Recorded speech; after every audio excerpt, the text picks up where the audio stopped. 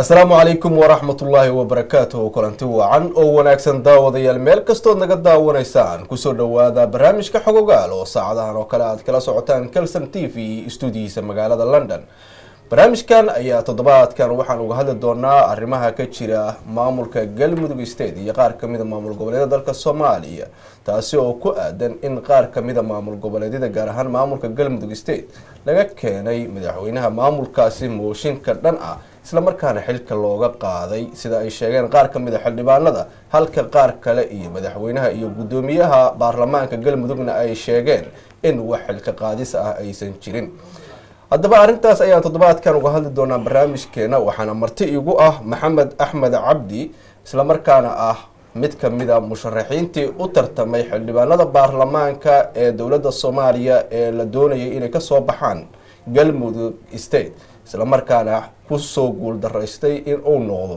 xildhibaan halkaasi laga soo doorto. Haddaba london ayuu dib ugu soo laabtay islamarkaana waxaan wax ka weydii doonaa bal xaaladaha galmudug state iyo xiliyadii uu halkaa joogay iyo waxyaabaha ka soconayay iyo iminka waxyaabaha ka soconaya maxamed ku soo dhawow barnaamijka calson t v ee xogoga. Waa mahadsan tahay maxamed aad baad umahadsanta waa dhowa bal waxaad faahfaahin marka hore inaga siisaa in galmudug hadda waxaa ka soconaya howlo badan oo ku aadan qaabka la doonayo in loo bedelo madaxweynaha. Sida ay sheegeen qaar ka mid a xildhibaanada halka kuwo kalena ay sheegeen in wax isbeddel ah aysan jirin ee xaaladu ay degan tahay islamarkaana ay tahay xildhibaanadani kuwo fallaaga sida uu sheegay guddoomiyaha. Marka bal arrintaasi maadaama aad ka mid tahay dadka aadka ugu dhuuntoleela bal warbixin naga sii marka hore. Aad baad umahadsan tahay maxamed waa waa waa waxa weeye galmudug wax badan baa ka qaldan oo sixid u baahan.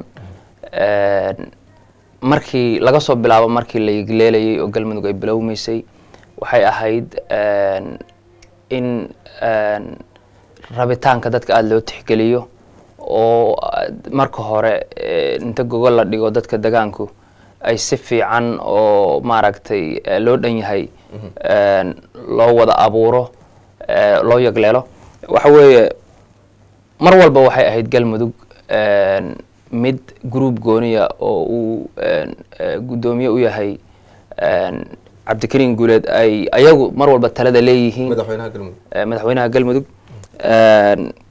Waxa weeye waana la ogaa in ay maaragtay mar un waxaan sida wax u socdaan ay qaldan yihiin laakiin ama ha noqoto xildhibaano ama ha noqoto wasiiro inay qola ka hor imaan doonto kamida maamulka waa la ogaa. Waayo wax sacan meesha kama socon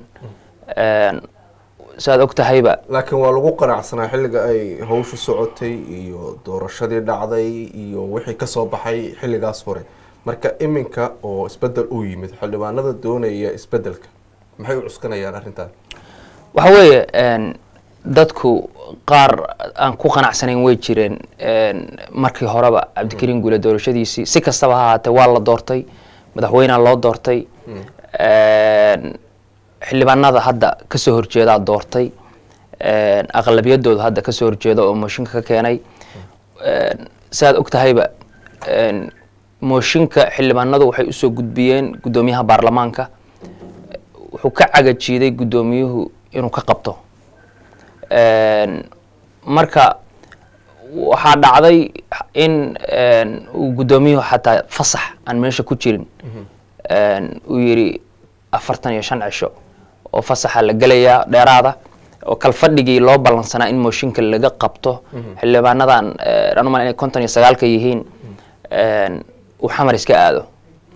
Isagoo mar walba lagu tuhunsanaa inuu dhinaca madaxweynaha yahay taas waxay sababtay guddoomiye ku-xigeenkii baarlamaanka xareed guddoomiye ku-xigeenkii baarlamaanka xareed cali xareed inuu ka qabto baarlamaankii qaybihii baarlamaanka ka tirsanaa oo mooshinka waday konton iyo sagaal badan arrintaas waxa ay ku tilmaameen inay ahayd qaabka loo qabtay mid sharci darro ah oo guddoomiyaha baarlamaanka xilli uu kala fasaxay guud ahaan baarlamaankii oo fasax ay ku maqan yihiin uu mooshinkaasi la keenay islamarkaana baarlamaan furan uusan jirin baarlamaan xiran la keenay. Sidaas darteedna sharci darro u yahay. Waxaan u malaynayaa inaysan sharci darre ahayn uu sharci yahay galmudug rabitaanka shacabka degaankaas degan waxaa matala baarlamaanka. Haddii baarlamaanka aqlabiyadiisii ay leeyihiin cabdikariin waa ku fashilmay kalsoonidii baan kala laabana oo kalsoonidii wuu luusgareeyey micnaheedu maaha inuu gudoomiyuhu baarlamaanka hor istaago.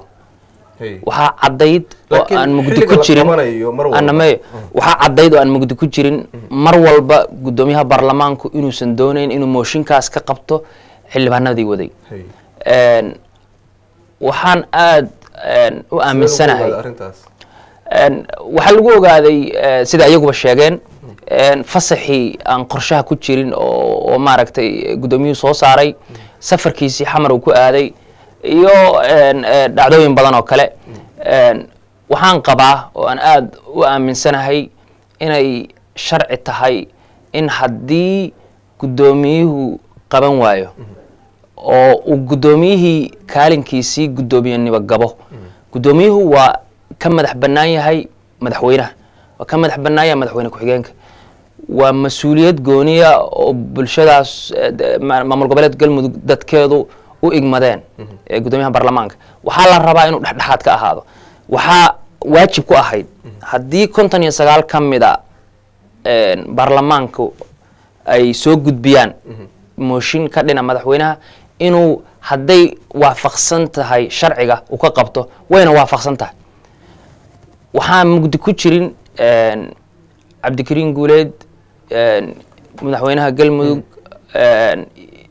iyo ku-xigeenkiisuba maxamed xaashi in ay ku fashilmeen yegleyladii qaybii kala duwanaa dawligii la rabay inay dhisaan. Maxaa ka mid ah waxyaaba ay ku fashileen waxaa ka mid a amnigii waxaa ka mid a fidintii maamulka in degaanada la gaarsiiyo waxaa ka mid a dadka qancintoodii waxaa ka mid a cabashooyinkii eh, dadku ay soo gudbinayeen oo aan laga dhegaysan dadka qaar waxaa ka mid a dib u heshiisiin. Saad og tahayba een, gobollada dhexe dhibaato badan baa ka dhacday. Degaanaha dadka ku kala maqan. Een, waxa weeye dad baa qaar dhul laga haystaa eh, dad baa qaar cabanaya. Eh, dhibaatooyin badan baa soo jiray oo muddo badan baa yaa dhibaato ka jirta meeshaas in maamul marka dadkaas loo wada dhiso waxaa ka horeysa dadka in la heshiisiiyo in la nabdiyo. Laakiin maamulkii waa la dhisay madaxweyne la doortay taas waa laga soo gudbay xilligaas hore waana la isku waafaqay in maamulkii la wada dhisto oo sidaas ayaa lagu dhistay. Qolada qolo qanacsan iyo qolo aan qanacsanaynba markaas kabacdi waxaa la dhisay maamulkii cabdikariim madaxweyne noqday. Hadda mooshinaa laga keenay. Marka waxyaabaha la dhihi karo qodobadaas ayaa madaxweynuhu ku fashilmay oo loo cuskaday ilaa iyo iminka. Waxaa ka mid a maxaa ka mid ah waxaa ka mid a nabadgelyada. Saad og tahayba een, degaano badan baa yaa dagaalla ka dhaceen. Dhibaato badan baa jirtay. Een, wax galmudug la yidhaahdo cadaaday ka jirtaa. Wax galmudug la yidhaahdo meel kale ay ka jirto. Anigu waa tegey waxaan ku soo arkay eh, galmudug cadaado inay ka jirto oo maamulka halkaas een, degan yahay. Laakiin meel kale aysan ka jirin. Waxa kale waxa weeye reer walba meeshuu deganaa buu joogaa wax maamula oo ka jira ma jiraan. Eh, magaalo madaxdii gobollada dhexe waad og tahay ehlu sunno eh, ya- yaa degan. Maamul kale ay sheeganayaan waxba gacanta uguma jiraan magaalada ugu weyn gobollada dhexe hadda waa cabudo magaalada la yidhaahdo markii hore dhaliil way jirtay wax qaybsigii iyo qaabkii loola macmiilay duqooyadii iyo dadkii tegay oo u matalayay degaankaas markii la yegleelaya maamulkan oo galmudug. Lama siin miisaankii ay ku lahaayeen. Saasoy tahay waxay tixgeliyeen in waxun horta la dhiso. Oo dadku degaankaasi cabud waaqa iyo meesha la yidhaahdo bangeele iyo iyo meesha la yidhaahdo een, eh, dhabad iyo meesha balambal dadkii ka soo jeeday. Waxa weeye eh, lama siin xuquuqdii ay ku lahaayeen sida ay tabanayaan. Waxaa adugu aakhirkii la gunaanaday in la taageero galmudug oo wax u dhismaan horta. Kadibna la soxo wixii dhaliilaa oo jira.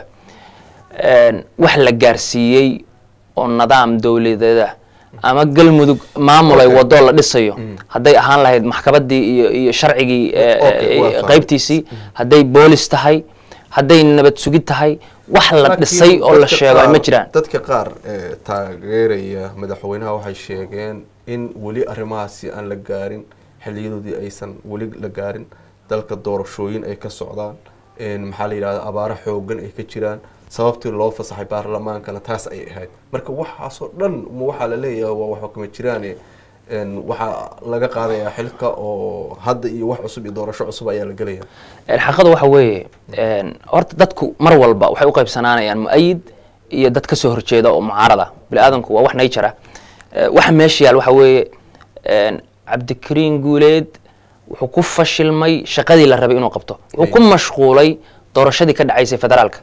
Iyo xamar. Iyo saad og tahayba wuxuu ka tirsan yahay ururkan la yidhaahdo eh, dami jadiid oo madaxweynuhu saaxiib ay Weli- yihiin.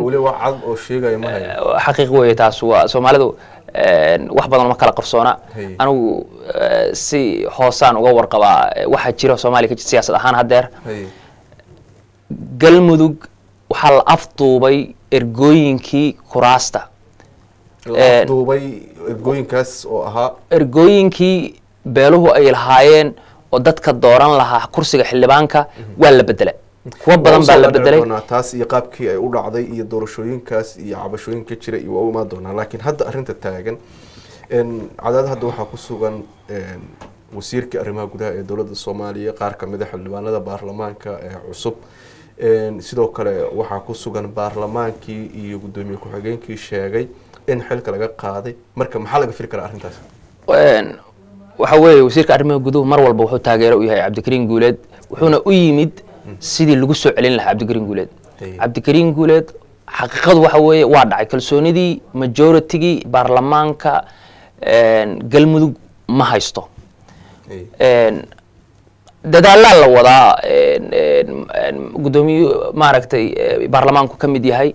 Dadaaladaas waxa weeye in la soo celiyo cabdikariin guuleed in la burburiyo xildhibaanadaas isku xiran oo ku midoobay in cabdikariin guuleed uusan hanan karin mas'uuliyadda loo igmaday waxbana uusan ka qaban hawlihii la rabay inuu qabto. hawsha ay bilaabeen. Dadka dhan waxa ay aada u dhaliilayaan waxay tahay xilliga hawshaan la bilaabay.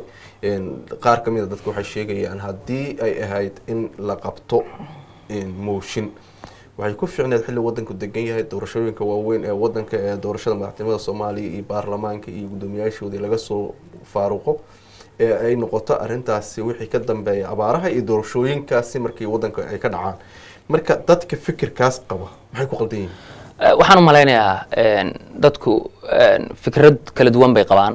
Een, waxaan anigu qabaa iyo dad badan oo aniga ila aragtiya doorashadu qaabkay ku dhacday haba qaldanaadee hadda galmudug doorashada waa ka soo dhammaatay Hey. wixii ka soo baxay doorashooyinkii galmudug oo, laga soo gudbiyey ama ha noqdaan aqalka sare ama ha noqdaan baarlamaanka waxay joogaan magaalada muqdisho. Ayagay u taallaa inay ka qayb galaan ama ee, doorashada federaalku. Ee, ma aha mid hawl u taalla hadda galmudug. Galmudug waxaa la rabaa hawshii stateka in la qabto. Marka hadd problemka jiray wuxuu ahaa cabdikariin markuu qaban lahaa dhisidii nidaamkii iyo qaybihii kala duwanaayo dawliga ee stateka ayuu wuxuu ku mashquulay dhisidii iyo cambainkii haddii ilahay kuusama ogol yahay doorashadii federaalka ahayd. Labadaas maado waa waa waa laba arrimood oo kala duwan saad og tahayba soomaaliya federaal bay qaadatay. Ma aha waagii central governmentiga halka xabaa ay ahayd. Stateku marka asagaa dowlad kale ah walow uu hoos tegayo dowlad centraalka asagaa wuxuu u baahan yahay in la dhiso. Hadday noqon lahayd eh, eh, maxkamadihii hadday noqon lahayd nabadgelyadii hadday noqon lahayd booliiskii hadday noqon lahayd dibdhiskii hadday noqon lahayd dib heshiisiintii.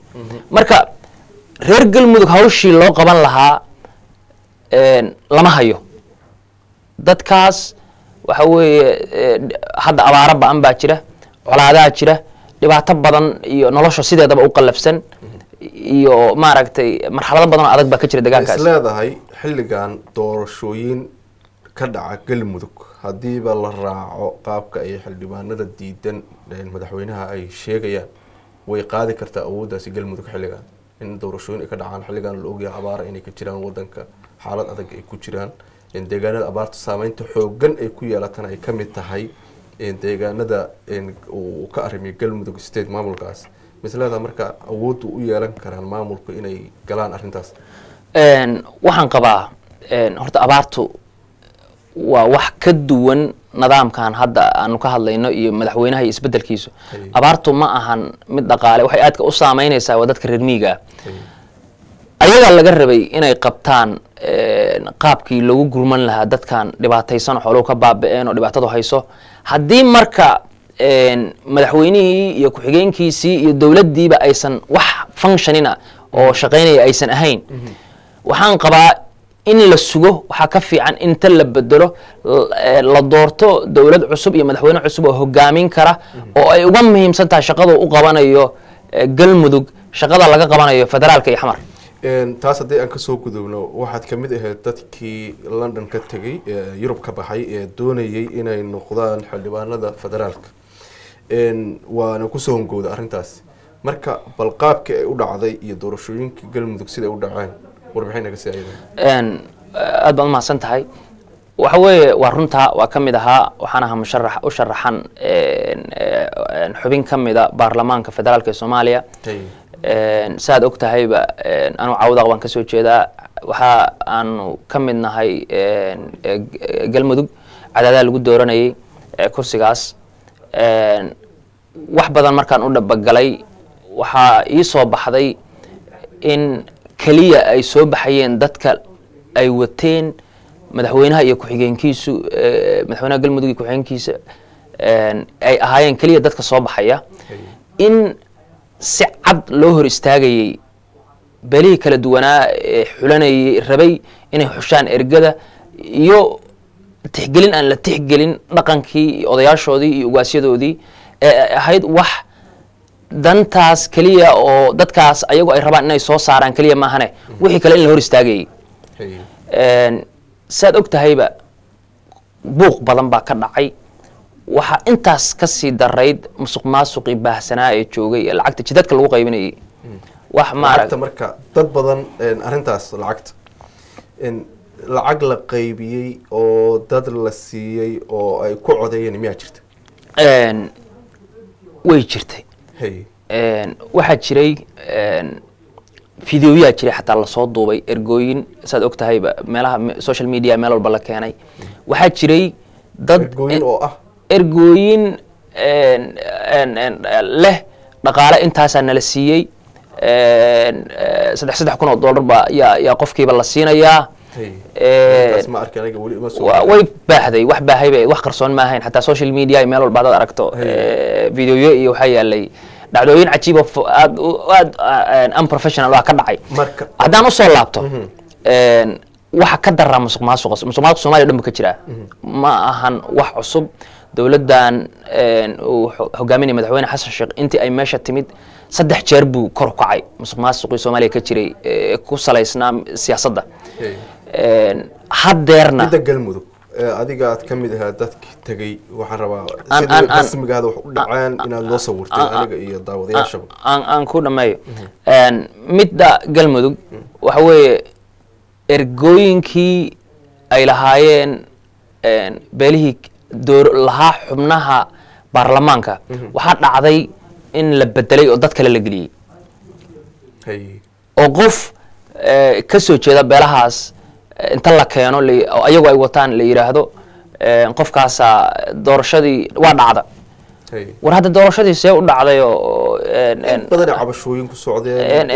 see u dhacday ergada iyadii waa batan odayaashii waa kuwaan oo dadkii kursigaan lahaa oo dooranaya waa kuwan albaabada laga xirtay waxaa dhacday dad musharaxiina in inta lacag laga qaaday oo dhaqaalo laga qaaday. Musharaxiin oo xildhibaano ah xildhibaanaha in inta laga qaaday dhaqaalihii musharaxnimo inaad waa inaad lacag bixisay ahayd inaad horta musharax noqoto oo shahaado lagu siiyo.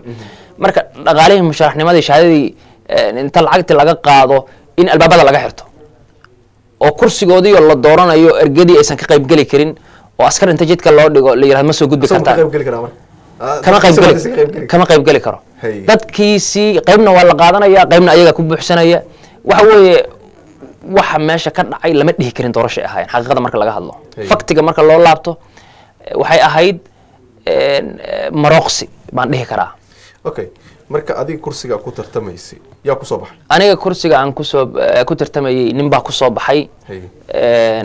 Anigu markaan arkay sida wax u socdaan waxaan go'aan ku gaaray inaanan inaanan ku tartamin kursiga.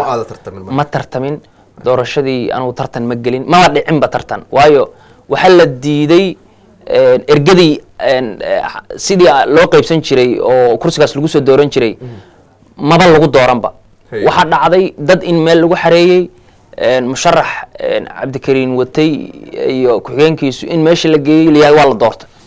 Ayagoo ayagoo ay taagan yihiin ay joogaan dadkii kursiga iska lahaa iyo ergadii qaabkii loo qaybsan jiray iyo wixii o dhan la ogyahay dadkii eh, ay leeyihiin war waxaanu sax ma ahan. In aan cidi dheg jala qusiin okay. Keligeedna ma ahayn. Laakiin keligeed ma ahayn. Wax baahsan bay ahayd. Keligeed ma ahayn. Okay. laakiin cabashooyinka waxaa la sheegay in qof kasta ee u arka in uusan xilka ku soo baxaynin ama isku arka in dadka deegaanka ee markaasi la soo xulay aysan soo dooranaynin uu ku eedeynayay madaxweyne ku-xigeenka iyo guddigii markaasi farsamada ee meesha ka jiray in doorashadu ay tahay mid ku shubasho ah oo dad gaara la wato. Marka uu is arko qofku inuusan arrinta noocaasa dadka aaminsan waxaan u malaynayaa wax cadaaladda ku salaysan iyo wax runta ku salaysan midna maaha waxaad og tahayba eh, kursi waxaa jiray kursiga ugu caansan oo hadda badanaa miidiyaha aada looga hadlay wuxuu ahaa kursiga caasha oo cadaada laga soo doorto oo gabari ku qorayd oo la yidhi gabar baa iska leh. In nin la geeyey oo miidiyihii iyo ugaaskii ninaa ku soo Eh, nin baa ku soo baxay.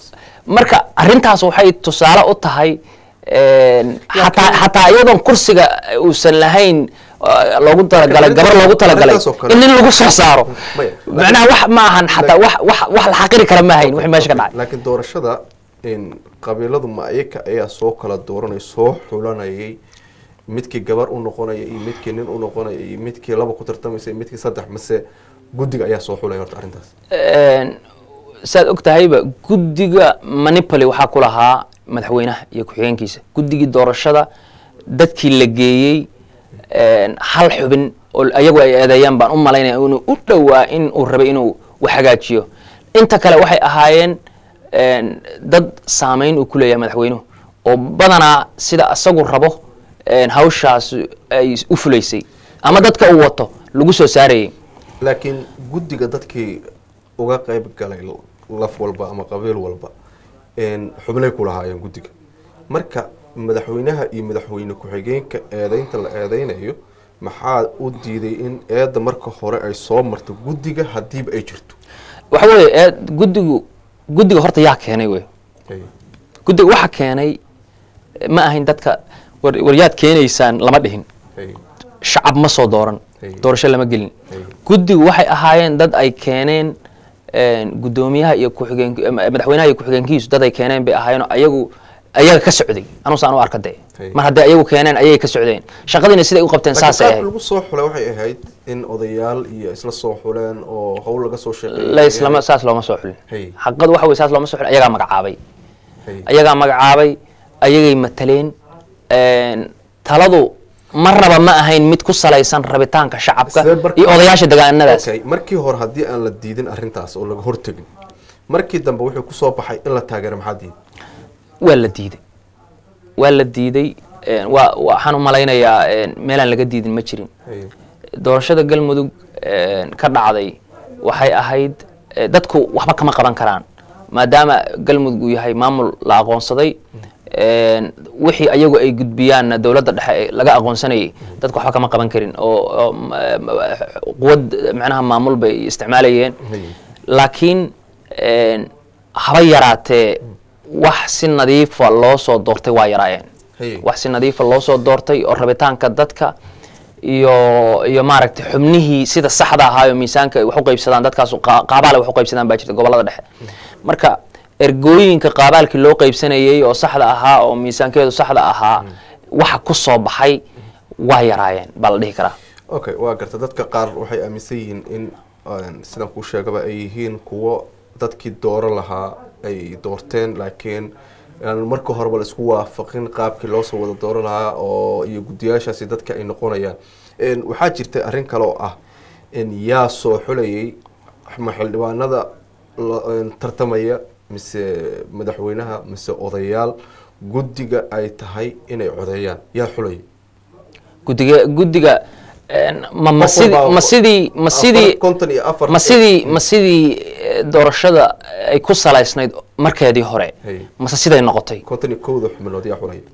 Laba maaday ahayd. Ma sidii doorashada la rabay oo qaynuunku ahaa in lagu soo xulo mase sidii ay noqotay oo wax u dhaceen sidii wax lagu soo xulayey waxay ahayd waxaa u madax bannaan xubnaha la keenayo inay keenaan odayaasha dhaqanka iyo ugaaska cidda kursigaas iska leh. Markay keenaan guddiga doorashada waxaa la rabay inay hubiyaan inay isu miisaaman tahay. Waayo waxaa laga rabaa dhalinyaro waxaa laga rabaa een, gabdhuhu inay qayb ku leeyihiin. Miisaan loo qaybinayey ergadii imaanaysay doorashada. qaybaha kala duwan ee bulshada inay ka kooban yihiin dadka. Inay saxaan bay guddiga laakiin mar walba waxaa hawshaas la rabaa inay eh, keenaan ama xulayey dadka eh, beel walba odageeda ka bacdina ugaaskeeda dabcan ugu sarreeya dhaqanka. Marka ma dhicin. Dadkii wa- dadkii ay ayagu soo xuleen oo la keenay ma ahe dad kalaaba la geeya meeshii. Dadkii ay soo xuleen iyo ayagiioo meesha taagan oo le war annagu dadkaan soo xulanay iyo kursigeennagii dadkii noo codayn lahaa waa kuwaan. Ayagoo taagtaagan baa dad kale wax doorteen. Dadka kale waxa dooranaya marka. Ma dad kale oo suuqa laga soo qabtay mise waa dad ka tirsan dadkii iska lahaa kursiga labadaba way ka mid ahaayeen. Labadaba way ka mid ahaayeen. Waxaa leedahay waxaa kursi u codeeyey qof aan shaqo ku lahayn oo dadkii way iska lahaa dhacday. aan ahayn. Way dhacday. Dad dadkii een, ama ha loo kala badiyo oo sidii wax u qaybsan jireen ha loo kala badiyo dad dad ama qaybihii uguba badnaa oo aqlabiyadda ha lagaba tage noocyo badan oo kala duwan ba wax u dhaceen laakiin si cad oo aad moodid in een, waxani meel laga guurayo kale bay ahayd sidii maamulka u dhaqmayey maaragtay wax hadda lagu kala tegayo doorashadan u dambayso. Waxaa u arki karay qaabka maamulku iyo iyo doorashadu ay wax u dhacayeen galmudug inayba kuwa eg tahay eh, doorashadan federaalka oo hadda dhacaysa. Eh, waayo dadka sidaan arkay loola dhaqmayay waxay ahaayeen dadka degaanka dadka la raba in la xukumo dadka degaanka joogo ku nool odayaashoodii sidee marka berri doorashadu markay dhammaato ilaa ayagii baa la rabaa in lagu laabto oo lala shaqeeyo. Eh, qaabka loola shaqaynayaahay sida uu noqon karo ma garanayo. Waxaase caado noqotay in mid inta laga gudbo mid kale la keeno. Okay. Marka mid inta laga gudbo mid kale la keenada arrintaas ah oo hadda aada afka ku dhufatay. Dadku ma waxaa jira odayaal dhaqameed laga guubay oo la aaday odayaal dhaqameed kale oo lagu oo cusub oo lagu soo saaray. Mise waxaa jira oday dhaqameed oday dhaqameed kale oo boos waayey markii horeba ka meeshan ka weysanaa loo isticmaala booskaasi asaga. Waxa weeye oday dhaqameedyo waxaa jira la aqoonsan yahay qoys walba leeyahay. Hay. oo ama soo jireen ha- noqdeen. A- ama had eh, ama reerku ha doorto ama ha ku yimaadaan eh, family tree ama wax maaragtay fir ah oo maaragtay eh, soo jireena Eh, waxa dhacaya waxa weeye maamulku een, galmudug waxa ay wadeen waxay ahaayeen rabitaankooda ciddii fulinaysa inay ayagu qaadaan. In la ignore gareeyo oo aan haba yaraatee dhag jalaq loo siin dadka raba inay wax saxaan ama sida xaqu yahay sheegahaya Een, inaan dhag jalaq loo siin ama ama ama amaba la handado mararka qaar oo loo dhaarto oo loo cagajugleeyo waxyaalo badan oo noocaasaa jiray waxa weeye anugu degaankan hadda ka soo jeedo galmudug magacun weeye ma ahane wax ka jiro ka shaqeeya maaha ka shaqeeya ma ahan macnaha aa ula jeedid ma joogaan wax galmudug la yidhaahdo Eh, jooga waxaa jooga ah. dadkii maamulka ma jiro. Eh, waxaa ka jira een, dadku inay ayagu ismaamulaan. Laakiin Oday- dhaqameedyadii iyo qaabkii soomaalidu dee awalba ku dhisnayd oo waagii dowladdii centraalka ahayd koob iyo sagaashankii eh, kacaanka ay burburtay kadib eh, reer walba meesha uu joogo asagoo u joogay baa loo joogaa. Galmudug waxay noqotay magac. Meeshii la rabay inay soo xoogaysato een, ahayd in shuruuc la dhiso ahayd in la sharciga la tixgeliyo. Waxaa bilaabay waana soomaalida oo dhan waxay caada u leedahay weye waxaa bilaabaya inuu sharciga burburiyo oo asagu siduu reebo sidii dukaan uu leeyahay ka dhiganaya. Meel walba soomaalida joogto stadiyado dhan waa isaga mid. Hadday noqoto jubbaland hadday noqoto meesha la yidhaahdo koonfur galbeed hadday noqoto galmudug iyo kuwo kaloo badanba waa isdhaamaan laakiin mar walba waxaad moodaa in hanti uu leeyahay qofka madaxweynaha ka noqda ay wixii noqonayaan xaqada marka laga hadlo. Waayo isaga mar walba wuxuu dareemaya centraalkuna waa la mid soomaaliya. Waxaan jirin tixgelin la tixgeliyo sharciga. Qofka madaxweynaha ka ama maamulkaas madaxda ka ah siduu rabuu yeelayaa. Wixii asaga uu aaminsan yahay ama xulufo asaga uu la socdo dan ugu jirto buu yeelaya ma fiirinayo aayaha dadka degan iyo waxaana inay sii jiraan ama maxaa danta ku jirta badbaadada ku jirta ma fiirinayo. Ugu dambeyntii waxaa jirta abaaro xoogan oo ka jira gobollada dalka soomaaliya iyo qeybo badan oo kamida weliba maamulka galmudug deegaanada uu ka arimay arrimahaasi weli gurmad muuqda oo cad oo la qabtay ma jirto maxaa hortaagan dadka deegaanadaas ka soo jeeda maamulada ka jira inay wada istaagaan arrintaasi oo ay wax ka qabtaan? Wa ayaan horta ilaahay haka ilaahay baa wax kaafiya oo dadka wax deeq siin kara. Ilaahay haka roob ha u keeno. Dadkaas waa u ducayneynaa bilaadanku waxba ma qaban karo weyn xaqada marka laga hadlo. Laakiin la tacaalid waa awoodaan. Soomaaliya maamul kastaa oo meelaha kala duwan ka jiraay horta income ma leh. Waxa yarkaa oo soo baxana waxaa lagu fuliyaa ama jeebkooda ay ku dhacaan inta dowladda ama wasiir ha noqdo ama madaxweyne ha noqdo ama ku-xigeen ha noqdo in ma soo dhaafaan. Wax soo dhaafa ma aha intaas jagooyinka haya. Waxaa dhacda oo ayaan dara ah dowladaha shisheeye deeqaha ay bixiyaan in in xataa laftigoodii la iibsado. Oo dadkii masaakiinta ahaa oo xuquuqda u lahaa aan la gaarsiine maamulku uu asagu ku tigrifasho galmudug hadda waxaa ka mida turkiga yaa macawimo soo gaarsiiyey sida igu maqaalo ah macawimadaas afar meelood marka loo dhigo hal meela lama bixin saan aaminsanahay meesha ay jirto iyo cidda qaadatayna anuu hadda hebel ma dhihi karo. Wa wa waad baari kartaa haddaad rabto. Waxa weeye nidaam ahaan maamulku waajibaad baa ka saaran asagaa la rabaa dadka dadku waa kala daran yahay meelaha dadka ugu daran oo dhibaatada samaysay inuu gurmad u sameeyo hadday noqon lahayd hadday hortaagan dadka kale? Shacabka inay u istaagaan arrintaasi ganacsatada ay ku jirto dadka kale dibadaha jooga ay ku jiraan. Weli gurmadyo muuqda oo waaweyn oo la fidina marka laga reebo qof qof iyo shaqsi waxay sameeyaan. Ma dhicin. Waa sax. Dadku horta wax maaragtay national interest ma jiraan. Waxa weeye unug unug iyo xoogaa xoogaa guruuba oo hadba wax inta iska aruuriya wax dira ma ahane. Si jamaca wax looga qayb qaatay ma jiraan yaase laga rabay weye waxaa laga rabay maamulkaas dadkaas matala oo caalamku iyo dowladaha soomaaliya la shaqeeya ay aqoonsan yihiin oo la rabo in dowladdii centraalka ay dadkan wax uga raadiyo oo maadaama iyadu kana jeeb weyn tahay kana weyn tahay deeqihii caalamkuna ku soo dhacayaan. La rabay inuu inta u tagaan dhawr dhibaatadaasaa na yaa waxay ku mashquuleen kan ka siibo kan saar marka waa waxa laga dhaxlaayo waa ragaas.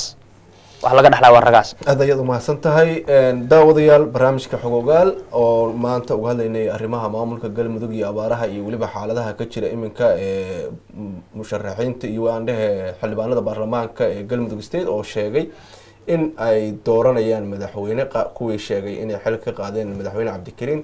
Halka madaxweynaha iyo guddoomiyaha baarlamaanka iyo qaar ka mid a xildhibaanadana ay sheegeen in arintaasi aysan waxba ka jirin islamarkaana madaxweyne cabdikariin xuseen guuleed uu yahay madaxweynaha rasmiga ah ee maamulka galmudug state. Barnaamijka waxaa igala qayb gelayay maxamed axmed cabdi oo ah mid ka mid a musharaxiintii xildhibaannimada u doontay maamulka galmudug state ee doonaya xildhibaanada baarlamaanka ee dowladda federaalk soomaaliya. Halkaasna ka soo waayey islamarkaana iminka ku sugan magaalada london. Barnaamijkan inoogala qayb galayay dhanka farsamada maxamed maali ayaa barnaamij ka farsameynayay. Intaa barnaamijkan barnaamij xig ku kulmi doono. Dhammaanteen waxaa idinkaga tegaynaa sida ay nabadgelya wasalaamu calaykum waraxmat ullaahi wabarakaatu